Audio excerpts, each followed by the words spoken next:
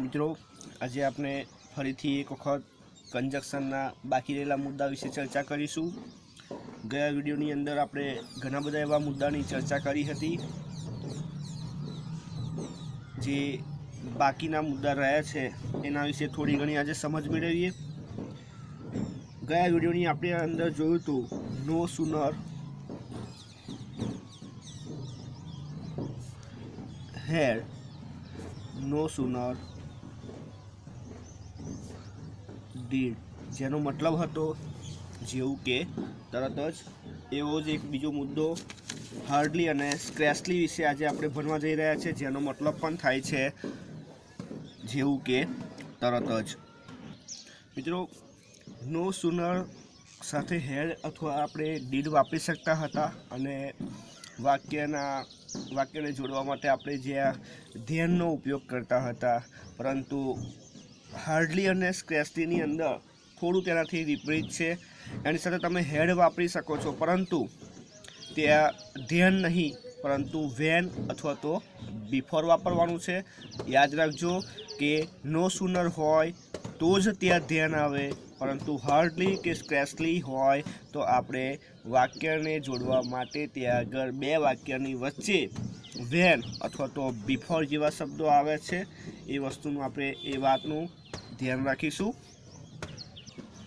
મિત્રો, અહીં ફરી વખત નો સુનર હાર્ડલી અને સ્ક્રેચલીના ઉદાહરણ દ્વારા સમજીએ.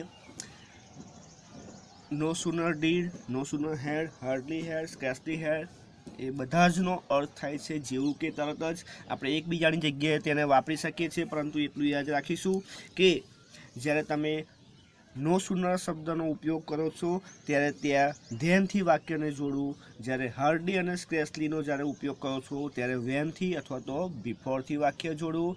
જો નો સુનરવાળા વાક્યની અંદર તમને વેન જોવા મળે, તો એ વાક્ય તમારું ખોટું છે. એવી જ રીતે હાર્ડલી અને સ્ક્રેસલીની અંદર તમને ધ્યાન જોવા મળે, તો એ વાક્ય રચના ખોટી છે. એ વસ્તુનું આપણે ધ્યાન રાખીશું.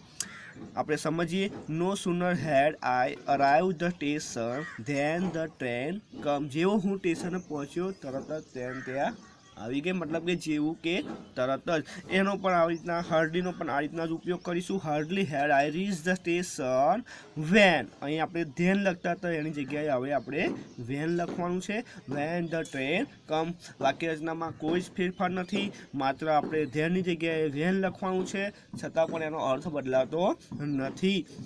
Scarcely had I reach the station when the train come અહીંયા હાર્ડલીની જગ્યાએ તમે સ્ક્રેચલી પણ મૂકી શકો છો સ્ક્રેચલીની જગ્યાએ તમે હાર્ડલી પણ મૂકી શકો છો પરંતુ નો સુનરનો ઉપયોગ કરતી વખતે તમારે ધ્યાનમાં રાખવાનું છે કે નો સુનર સાથે હંમેશા ધ્યાન આવે છે જ્યારે હાર્ડલી અને સ્ક્રેચલી સાથે હંમેશા વેન અથવા તો બિફોરનો ઉપયોગ કરી શકો છો બીજા એક કન્જક્શન વિશે વાત કરીએ મિત્રો. Yet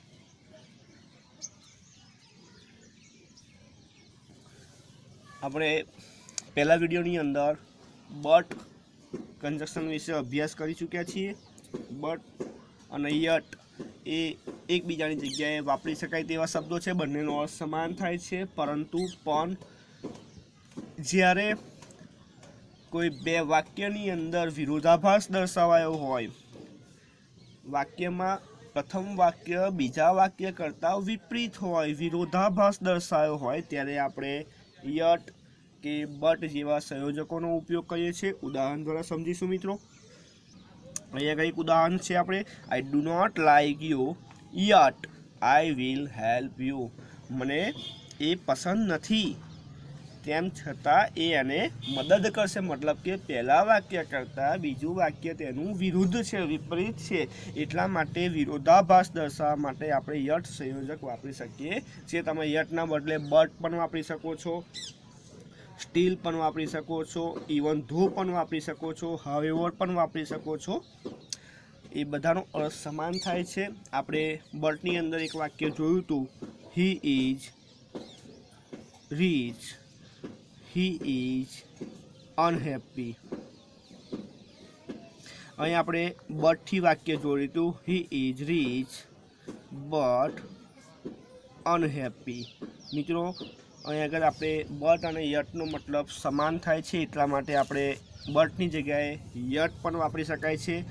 He is rich yet unhappy બરાબર છે મિત્રો?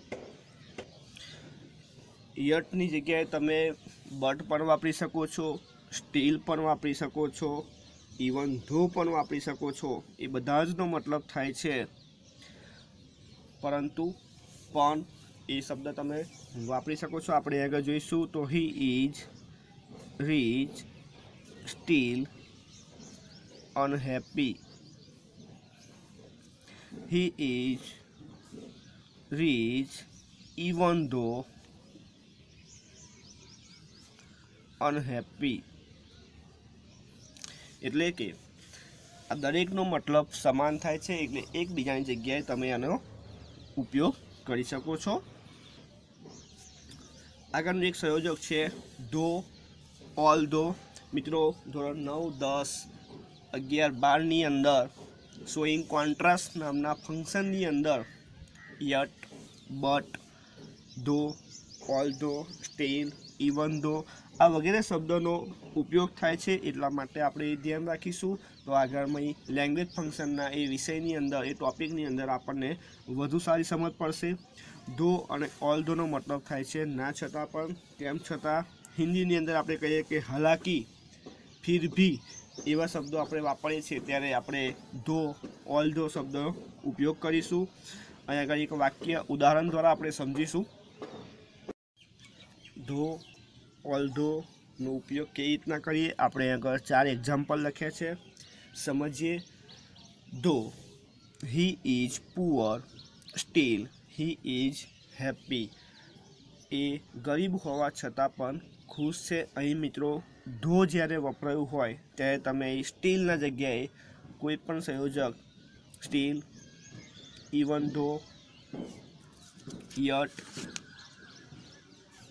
however વગેરેનો ઉપયોગ કરી શકો છો. પરંતુ જ્યારે વાક્યની શરૂઆતમાં ઓલ ધો વપરાયું હોય ત્યારે તમારે ત્યાં યટ વાપરવું ફરજિયાત છે. એના સિવાય બીજો કોઈ પણ સંયોજક તમે વાપરી શકતા નથી.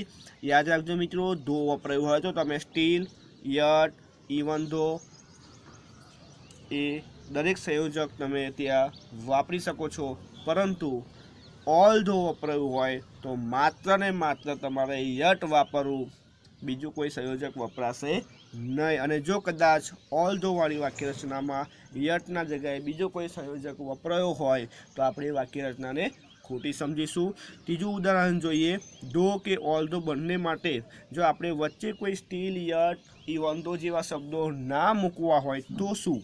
તો ધો કે ઓલ ધો બંનેની અંદર જો આવા કોઈ વચ્ચે શબ્દ ના મૂકવા હોય તો વાક્ય પતે ત્યારે આપણે અલ્પ વિરામથી વાક્યને છૂટું પાડીશું. જેવું મિત્રો આપણે એસ સુન એઝમાં જોયું હતું ધ્યાનની જગ્યાએ આપણે અલ્પ વિરામ મૂક્યું હતું. એ જ રીતના તમારે આગળ વાક્યની વચ્ચે બે વાક્ય છૂટા પડે છે ત્યાં તમારે અલ્પ વિરામ મૂકશો. તો તમારે ત્યાં પાછળ વાક્ય જોડવા માટે સ્ટીલ યટ જેવા કોઈ શબ્દ મૂકવા પડતા નથી. તમારે અલ્પ વિરામ પણ ના મૂકવું હોય તો એના માટે પણ આપણે જોઈએ તો જે પાછળનો શબ્દ છે, જે તમારે વિપરીત શબ્દ છે પહેલાં વાક્યથી, એ શબ્દને તમારે આગળ રાખી, વચ્ચે ધો કે ઓલ મૂકી અને ત્યાર પછી તમારે પહેલું વાક્ય છે એ તમે પાછળ લખશો તો તમારે અલ્પવિરામ મૂકવાની પણ જરૂર નથી મિત્રો. એટલે ધો ઓલ ધોનો મતલબ થાય છે, ના છતાં પણ એ એક પ્રકારનો વિરોધાભાસ દર્શાવે છે. લેંગ્વેજ ફંક્શનની અંદર શોઈંગ કોન્ટ્રાસ્ટ નામના લેંગ્વેજ ફંક્શનમાં આ શબ્દનો ખૂબ જ ઉપયોગ થઈ રહ્યો છે. મિત્રો, આગળનું એક આપણે કન્જક્શન જોઈએ. So dot dot dot that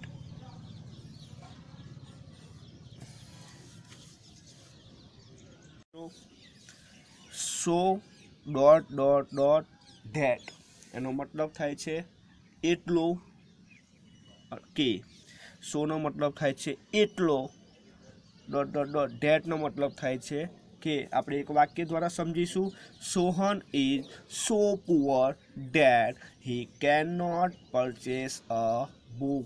એનો મતલબ છે, સોહન એટલો બધો ગરીબ છે કે તે બુક ખરીદી શકતો નથી. મતલબ કે કોઈ વાક્ય જે છે, આ વાક્યની અંદર સોહનની વાત કરવામાં આવી છે. સોહન એટલો બધો ગરીબ છે કે તે બુક પણ ખરીદી શકતો નથી. મતલબ કે એના વિશે વાત કરી છે કે કેવો છે, કેટલો ગરીબ છે અને એના કારણે શું પરિસ્થિતિ થાય છે એની એની વાત કરવામાં આવી છે. સો મતલબ કે એટલો અને ડોટ ડોટ ડોટ પછી જે ડેટ વપરાયું છે એનો મતલબ થાય કે સો ડેટ એટલે કે એટલો કે મિત્રો, આ જે વાક્ય રચના છે, સો અને ડેટવાળી એ તમારે રિમૂવ ટુ અને યુઝ ટુની અંદર પણ એનો ઉપયોગ થાય છે. આપણે જ્યારે રિમૂવ ટુ, યુઝ ટુ અભ્યાસ કરીશું, ત્યારે એની વાક્ય રચના ફરીથી સમજીશું. યાદ રાખજો, so dot dot dot that એનો મતલબ અલગ થાય છે, એની વાક્ય રચના અલગ થાય છે અને આપણે સો ડેટ એમાં વચ્ચે ડોટ ડોટ આવતા નથી. સતત સડિંગ આપણે શો ડેટ વપરાયું છે, તો એનો પણ મતલબ અલગ થાય છે. એની વાક્ય રચના અલગ થાય છે. આ શો ડેટની મતલબ થાય છે. તેથી, કોઈ પરિણામ માટે કારણ દર્શાવાયું હોય કારણથી એનું પરિણામ શું હશે? એ જોવા માટે એ દર્શાવવા માટે આપણે સો ડેટનો ઉપયોગ કરીશું? એક ઉદાહરણ દ્વારા સમજીશું. I will work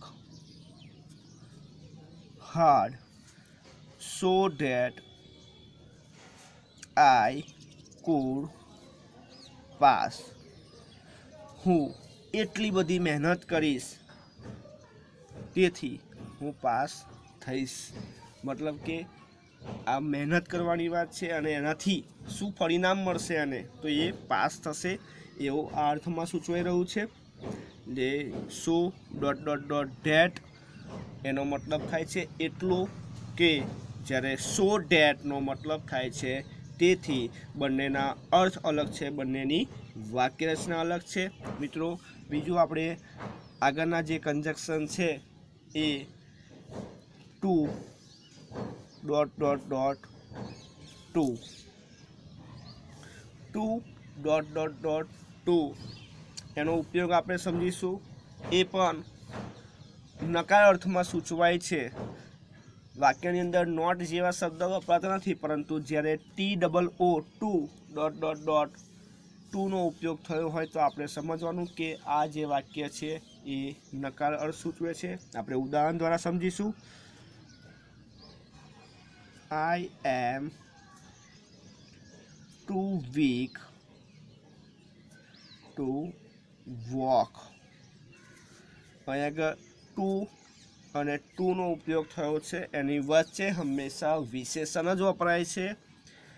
આનો અર્થ નકારમાં થાય છે. અહીંયા આગળ એનું ગુજરાતી સમજીએ આપણે. આઈ એમ ટુ વીક હું એટલો બધો અશક્ત છું કે વોક એટલે ચાલી શકતો નથી. ચાલવા માટે હું ખૂબ જ અશક્ત છું.